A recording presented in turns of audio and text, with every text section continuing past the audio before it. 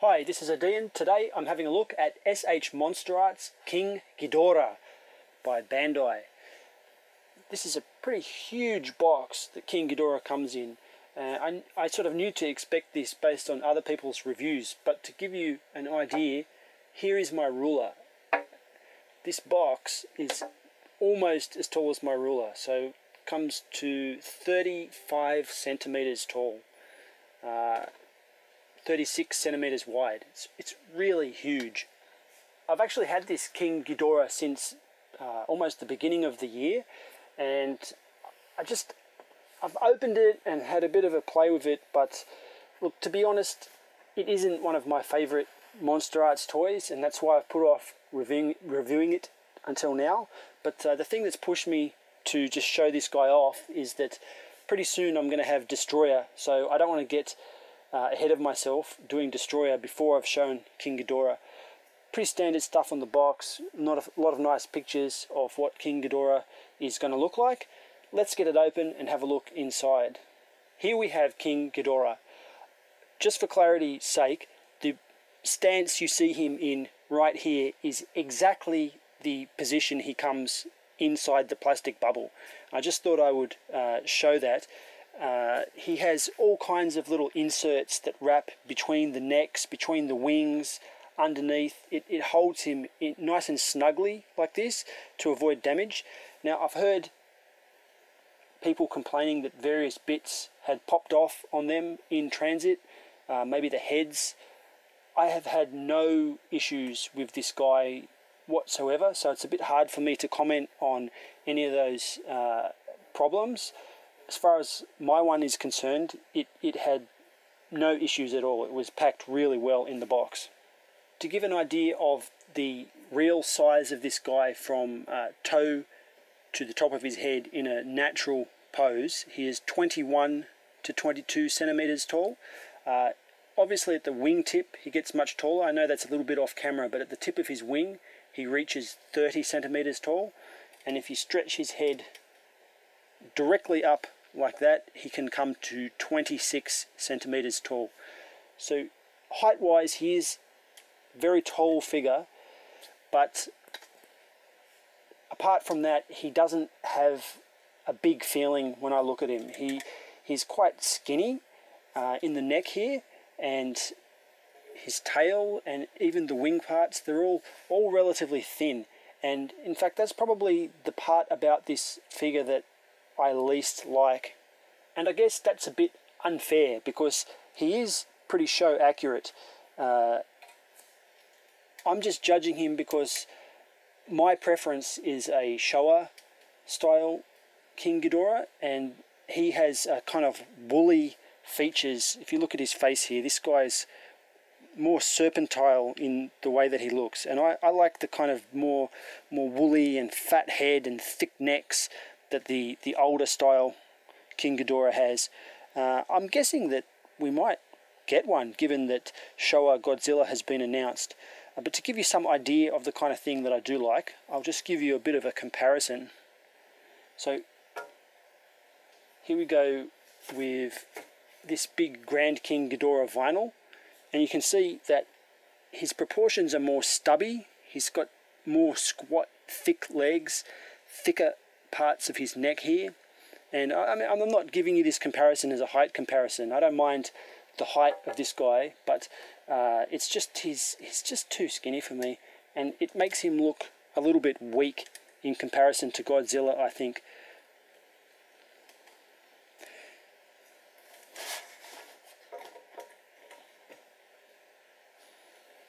And both of these are very nice, nice figures. And by no means am I saying that this is rubbish. It's a fantastic figure. It's just not, not one of my favourites.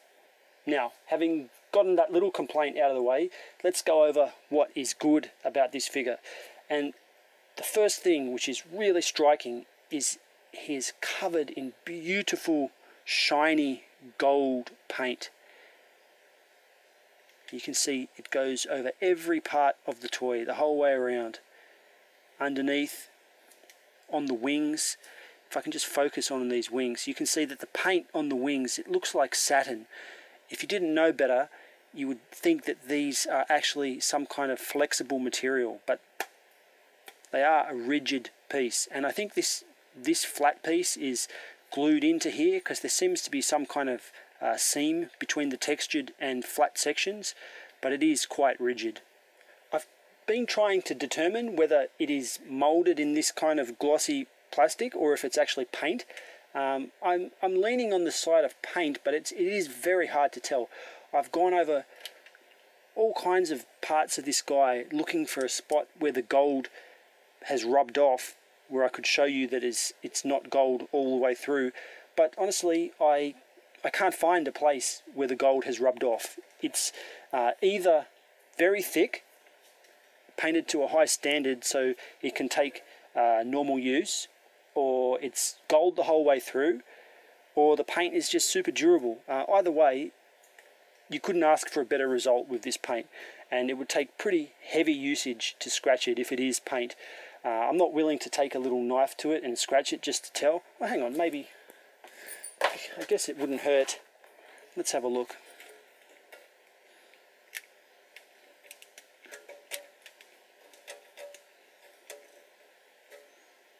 Ah, there you go. Look at that. Uh, I try to focus, it's a little bit hard to see. Underneath it is a creamy coloured plastic, so it is paint. The gold we're looking at is definitely paint because if you if you abuse your toy with a screwdriver, you can definitely see the plastic underneath. But it did take quite a bit of work to do that, and unless unless you're going to sort of rough up the whole visible surface of this guy, it's not going to happen on its own accord.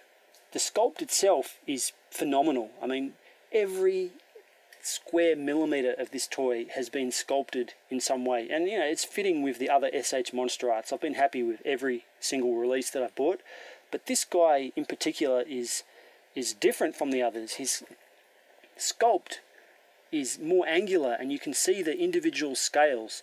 On Godzilla he's just sort of bulbous but uh, King Ghidorah has pointy scales all over the place. It's really really fantastic and the different textures it's just it, it blows my mind to be honest. I it, I don't understand how a person could sculpt this. It's it's done so well. I've got to give credit where credit's due. I wish I could read the box to tell you who sculpted it. Uh, but unfortunately it's all in Japanese. For posability let's start with the foot. We have this sort of ankle movement here and the foot is on a ball which is above the ankle and another ball which is under the ankle. So quite a, a wide range. And that what that allows you to do is give him these wide legged stances. Apart from that, he's got relatively good knee joint, you can hear it squeaking away there, and a somewhat limited hip joint. With the good detail of being able to move out like that, as I said. So I'm gonna I'm gonna put him in a wide-legged stance, and let's just. I mean, you can definitely see that he is capable of uh, of looking like he's bracing himself for an oncoming attack from Godzilla. Apart from that, he's got uh, this ab crunch. It's a very, very limited ab crunch, uh, which just moves along the chest line here. His necks can go virtually straight up like this, all the way to bent in like this, but that is the limit. I would have been even more impressed if he could uh, almost bend down and grab something in this area down here directly in front of him because it seems like a, a weak spot if an enemy could get in here and he can't reach that enemy. But I understand some allowances have to be made for the reality of this of the sculpt and uh, if it was that posable there'd be gaps everywhere. The head itself has a jaw which is uh, super wide in its range of motion and uh, in fact I think too much so some of the, the places it can get are just unnatural and don't look good. And I think it's because there's a single ball joint under here. And uh, later on, I think it was Burning Godzilla where he has a, a much more aligned jaw. I think that that is a better way to go. This jaw is just, just too loose. The tongue is also posable to somewhat of a degree. It can swing out to the sides like that. So because it's flexible, you do get a bit of up and down, but really what it is, it's on a little pin that lets you to uh, swing it out like that. These horns are flexible so they're not going to snap off as well which is lucky because they're so thin. Having a look at his eye, if I can focus on it, his eye is a painted detail and it's painted in a brown with just a little bit of uh, black through the pupil but it, it is very hard to see because the brown is so similar in colour to the gold the gold of his skin the teeth are also individually painted white. And that's done pretty well too not much bleed through of the red mouth colour just in a few spots. Moving down to the tail or the tails we've got two of them. They can curve right back like this or go right back the other way. They're a little bit weak. This joint here is a little bit too flexible and if you try to put it up like that over time it will fall. Like it doesn't want to do it it doesn't want to fall now you know there's always the when you put on camera it won't do it but when you put on the shelf I found that if I if I stick the tail out uh, more often than not over time it will just plop back down until that mid section is touching the ground like that and finally we come to what is uh, perhaps the worst point of the toy, this wing articulation. And you can see already that there is a big ugly gap here. This gap forms really easily. Pretty much no matter how you put it over time, this wing will just move itself down like that. And playing with the toy does make it looser. So when I first got it, it was pretty stiff. But uh, I played with it a little bit, not too much, but just from the few times that I have played with it, it, it starts to become loose now. I'll try to get a little bit of a shot there. You can see that it's on a kind of hinge. So there's a hinge like this, which is pegged in. So the hint it can rotate like this, move up and down like this, and then to top that off, at the end it can bend from side to side. So we've got a lot of different uh, planes of motion that this joint can achieve. But because they're all kind of disjointed from each other, one's here, one's here, one's here, what it means is that you feel like moving it as if it's a ball, but if you do apply force in a plane which is not the plane that that particular point is bending, it has a tendency to snap. So mine hasn't snapped, but uh, a lot of people have snapped their wings off. And I mean, I think right now on BBTS there's one with the wing snapped off in their used section at a reduced price, and a lot of people have been complaining about that. So uh, luckily I was aware of that before I opened this guy, and I've always been really slow and careful to bend this this wing here. But uh, it is a very bad weakness in the figure, and I'm surprised it made it through to the final toy. To give you some idea about the range of motion that you get from that, what you can do is touch the wings together. So you can see that's how far they can move in the upwards position. Or they can bend all the way down like this to be kind of like bat wings. A more uh, intimidating look. And he can also get some good flying kind of poses. So we know Ghidorah kind of zooms around like this making that kind of squeaky noise with his three heads at the same time while wildly flailing around. And I think this piece is ideally suited to be hung from the ceiling, maybe with some cotton or fishing line or something. And he looks really fantastic flying around. In fact, that's that's my very favorite way to pose him in flight mode. And given that he spends a lot of his time in different movies that he's in flying, I think that's really cool.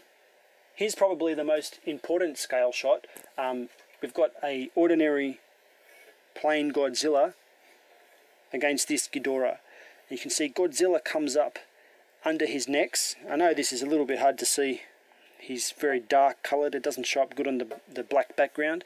But uh, the thing that kind of bothers me with this is it always seems like he should be shoulder to shoulder from the movie. I'm, I'm no expert, but uh, just my memory tells me that this is not big enough. I think he should be about this big. With this smaller size of his shoulder, it seems almost to me like um, Ghidorah looks weaker than Godzilla, which it, it does bother me a bit. And that's one of the main reasons that this Ghidorah isn't one of my favourite monster arts. But uh, either way, he looks pretty nice. Of course, once I had a King Ghidorah, I had to get a Mothra. Mothra, Moth, Mothra. This is a Revoltech Mothra. Uh, I know it's a different line, but they go very well together. And if you need to understand why I need a Mothra to go with Ghidorah, either watch some of the older movies with uh, King Ghidorah versus Mothra, or more importantly, the real reason I had to get this Mothra, you need to go and check out Monster Island Buddies. So that's a channel on YouTube. Just type in Monster Island Buddies. That show is awesome and it just makes me laugh out loud. I love it. And then you will fully understand why you need to have a Mothra to pose with your King Ghidorah. But anyway, they look pretty good together. But again, I think Mothra is a little bit too small now. So it's really hard to get scale right with all these guys. And part of the reason is we've got different eras interacting and also the cost of doing really big figures. Uh, but anyway, King Ghidorah comes with a huge pile of stands in three effect parts. So you can see the effect parts are like a, a spiral beam and uh, it's a gravity beam. I don't know exactly what gravity beams are supposed to do. I guess they make gravity change, maybe heavier or change direction, I'm not sure. But they are individually sculpted to be different from each other. And they're done, it's quite nice. Just focus in on it. Uh, quite attractive, but a little bit annoying to deal with. And given that they're so long, it's it's not uh, normal that you'll be able to post this on a shelf because they just take up too much space. They are flexible, so they're not going to break, even though they're so so thin. And to go with that, it comes with this stage, uh, along with some typical little stands like this. Oh, wrong way just to make up this basic unit.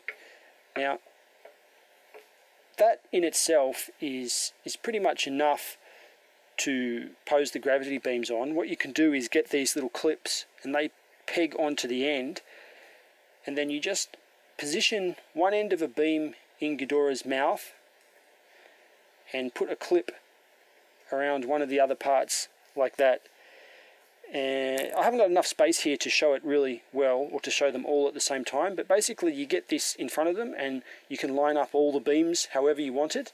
But because he is quite a high figure they've given an alternate way to do this and that is to put the clip on the end of this rod which is a little bit hard to get in and then the rod can in turn clip onto the end of the stand like this. It's a little bit tight probably because I never use it and you can see that's really quite high. So you could get Ghidorah shooting off up into the air like this. So you could, on the one stand you could have really high beams, really low beams. You've got everything you need to accomplish that. Uh, but again, it's a nice thought, but I don't really I don't really like this. It looks a bit weird having all this plastic sticking off. I just wish that this could plug in. This is so light that uh, in this situation, I think that we really could have had the beam just tab right into the mouth and hold its own weight without the stand at all. And it's a bit of a lost opportunity that they didn't make that happen. I understand with the thicker beams on Godzilla that's impossible, but this is actually very light and it was definitely something they could have done. My final thoughts on this figure it's a good figure. Every Monster Arts so far has been a good figure, but uh, it did cost about $125 plus shipping.